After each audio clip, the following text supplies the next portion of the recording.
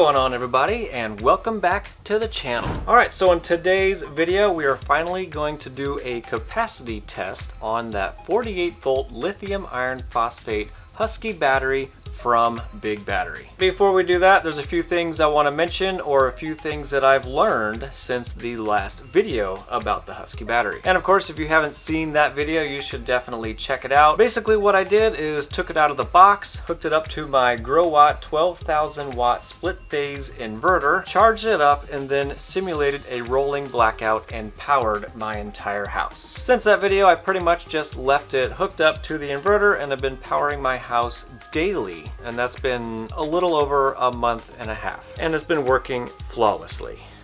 That's a little bit of a lie because it's actually improved a little bit. Alright, so there's two things I want to mention before we get into the capacity test. The first thing, which I already knew in the last video, I just forgot to mention it. In the Bluetooth app on your phone or your tablet or whatever you're using, it'll show a remaining amp hour, which is how much is left in the battery. Whenever you do a full discharge and then recharge cycle, it will actually recalibrate to show you how many amp hours you discharge during that last cycle, which is pretty cool. And just FYI, with the settings that I use on my inverter, I typically use around 92.7 amp hours from the battery every day. The second thing I learned about this battery based on my last video, in that video I could only charge to like 56 or 57 volts and I assumed that it was full charge and chalked it up to different voltage readings from the BMS, the LED voltage readout, and my inverter. I was wrong. Well, what I found is one or two cells weren't fully balanced or equal with the rest of the cells. Basically what happens is as you're charging this battery up, there's 16 cells in there and if they're not perfectly balanced one or two cells might go up just a little bit higher. The BMS has a cutoff setting of 3.65 volts for the cells inside. So as you're charging, one cell just goes slightly above, hits that cutoff, which cuts off the charging of the battery which is a good thing. So since using this battery pretty much every single day, the cells have rebalanced on that top end and I'm now able to fully charge the battery. A quick rundown of this battery from the spec sheet. So this is a 48 volt 103 amp hour lithium iron phosphate maintenance free battery. Maintenance free means you don't have to really do anything to it. You just charge it up and use it. There's no watering, there's no there's no nothing. The BMS inside takes care of everything for you. It's got an advanced smart BMS with Bluetooth inside. However, they don't advertise that yet because they don't have their app ready. They don't advertise that it has Bluetooth, but it does. You can discharge at 130 amps continuously, and you can go up to 350 amps for a short time to start those big loads. The recommended charge rate is 45 amps for a longer lifespan. However, the max charge rate is 90 amps, which I have done done. I actually went up to like 96 or something like that, and it handled it great. Voltage range is 43 volts for the low cutoff side and the charge voltage is 58.8 and that's just a few of the battery specs. So we should get a minimum of 103 amp hours from this battery. Okay, enough of the shenanigans. Let's get on with the battery capacity test. And of course, since I've only got one 48 volt inverter and it's in use, hooked up and powering my house, I'm gonna be using a 48 volt 2700 watt APC UPS for my inverter. And it's gonna be connected to a Victron Smart Shunt, which is in turn connected to the Husky battery. Now this Victron Smart Shunt is new to me I'm not 100% sure if I have all the settings correct, so I'm only going to be using it for a reference. During the video, we're probably not going to go with it for amp hours or anything like that. I just got to figure out how to use it. Okay. Anyway, to discharge the battery, the first discharge test will be with this super old space heater on high, and that's roughly 1500 watts which is about 30 amps from the battery. The second test, I figured I'd try to make a dollar or two using a quickly put together 6 GPU mining rig with 4 gigabyte cards mining Ravencoin. If you're not sure what a crypto mining rig is, that's okay because we're just creating a load and that load's going to be around 600 watts, which is about 15 amps from the battery. And I also went ahead and did this test using three Relic 150 watt light bulbs and one 100 light bulb, which is around 12 amps from the battery. All right, so for my test and results, I pretty much charged the battery to full charge. All cells came into balance as they should with a 10 millivolt delta between the highest and lowest cell. First test, I started with the space heater on high for 1500 watts or 30 amps from the battery.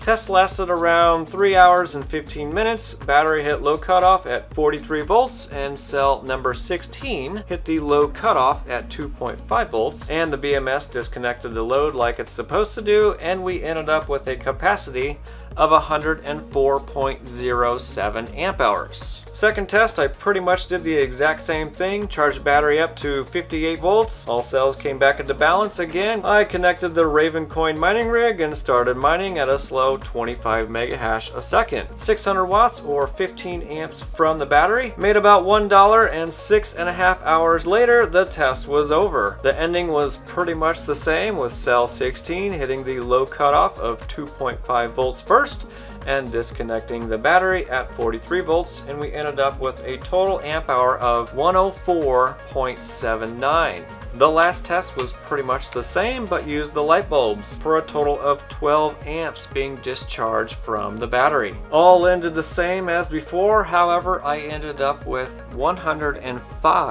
105.13 amp hours. Alright, I'm going to say I am pretty impressed with all of these tests. I actually did a few more discharge tests with the space heater, one on high and one on low, 30 amp and 25 amp. Both tests were 104.13 and 47 or something like that. Every single capacity test that I did was over the claimed 103 amp hours, which is fan freaking tastic. It does seem like a lot of the other companies out there, or at least a lot of the videos that I've seen, they'll claim a ridiculous amount of amp hours or capacity out of a battery, assuming that nobody's going to check, and they fail miserably. It's kind of nice seeing that Big Battery is right on with their claims. Now I also did a quick teardown, and again I'm pretty impressed with how everything was constructed and put together. Everything was nice and tight, there was no loose hardware, you know, no loose nuts or anything like that. After taking off the circuit board and looking around, I noticed all the cells have their QR codes intact, which is great. I also noticed that each group of four cells are kind of in their own little compartment compartment so whenever you stand up the battery you don't have the weight of all the cells crushing the lower ones. Each group also has foam padding basically all the way around on all sides to help protect them, so that's nice. Wires were all zip tied together and, you know, pretty much good cable management. I even tried to remove a couple of the cells, but I couldn't get a good enough grip to slide one out, so I just gave up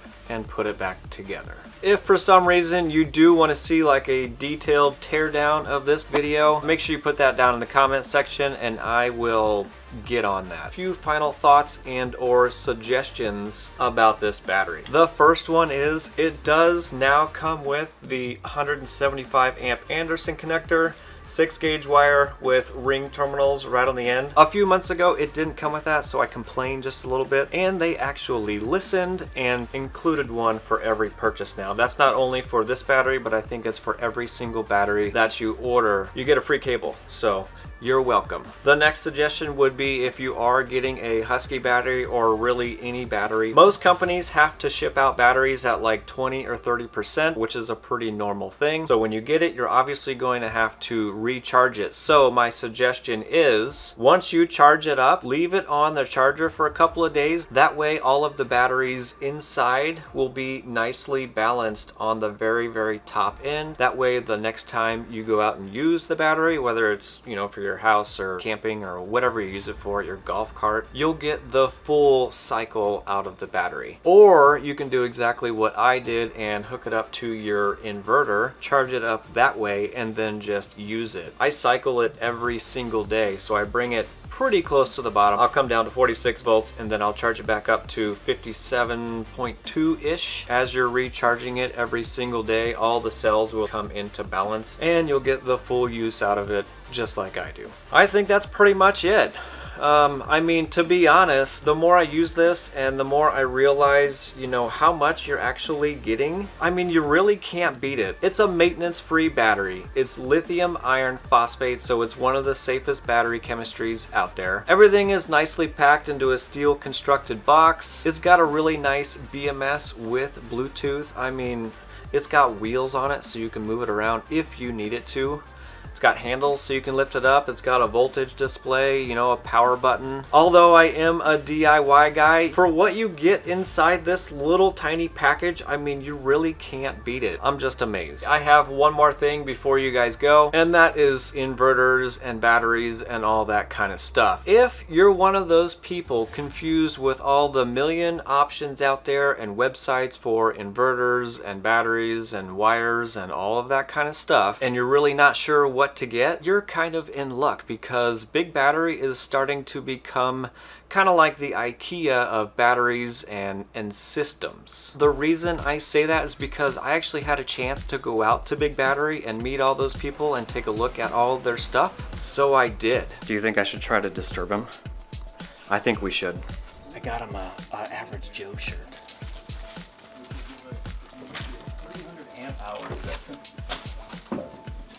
That? Who the is that? I'm, I'm kind of lost now. Where do I go? That's yours. Oh yeah, yeah, yeah. Yours. Cool. and pretty much when I got there, they were about to announce a whole bunch of new products. They are finally offering all-in-one kits, and they've got kits for pretty much everything. They got them for vans, campers, RVs, off-grid cabins, homes. I mean, you could pretty much get a kit kind of like what I'm already using. All right, so if you're getting a kit that's pretty much like what I'm using here, you're gonna get the 48 volt lithium iron phosphate Husky battery. It's 103 amp hours you're going to get a 6000 watt Growatt split phase low frequency inverter. It's got the solar charge controller in it. You can hook it up to the grid. You can use it like a UPS. It comes with the 175 amp Anderson connector with the 6 gauge wire and ring terminals. It even comes with a Wi-Fi dongle so you can control your system from anywhere, anytime. Also comes with the manual and the monitoring software. They even have an upgrade system where you can connect up to four batteries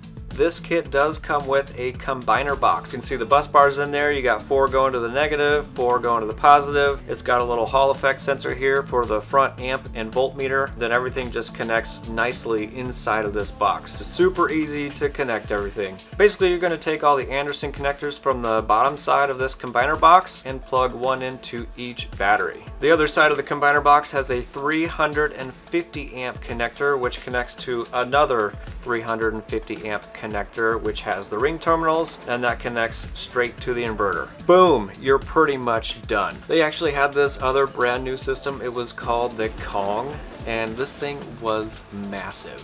It was a 48 volt, 12 kilowatt hour battery. And this one actually has a little screen on it with all the BMS options and it tells you all the cell voltages and all that kind of stuff. It's pretty badass. You guys should definitely check it out. They have a system for everybody. Alright, well that's pretty much all I got. I know I've wasted enough of your time. If you guys are interested in the Husky battery or really anything else that Big Battery offers and want to save some cash, you can. Big Battery offered me a discount code that I can pass off to you guys, which is Joe10. As always, it's not required, but always appreciated because I do get a small kickback for that and it allows me to make awesome and helpful videos. Actually, It's only awesome and helpful if you guys and girls like the smash button. Okay, I'm done. Don't forget to subscribe and hit the little notification bell thingy that's off to the side. And I will see you on the next one. And while I was there, of course, I met every single person I could. They were all super nice and helpful, and they put up with all of my crap, so thank you very much. And all the people in the back that were moving stuff around for me. Thank you very much. You guys are awesome. Um, um, and then after that, I think we're gonna rip it open and, you know, throw it across the room and see if it breaks. We're not gonna do that because it's like 100 pounds and I don't think I could do that.